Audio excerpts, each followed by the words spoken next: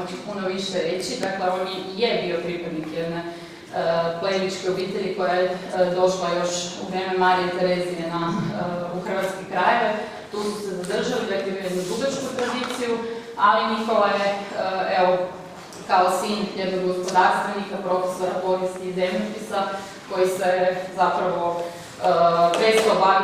da bi se bavio gospodarstvom, odrastao u tako jednom intelektualnom krugu. Jedan portret prema starom majstoru Nikola zna bolje tu priču o njegovom kopiranju u vrijeme koje je proveo u Parizu u Louvru gdje je naravno studirao i slike starih majstora.